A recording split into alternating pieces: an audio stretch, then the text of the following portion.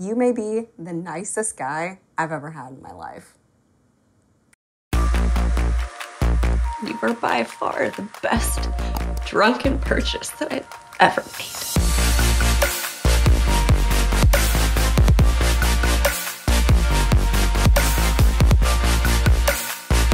Want?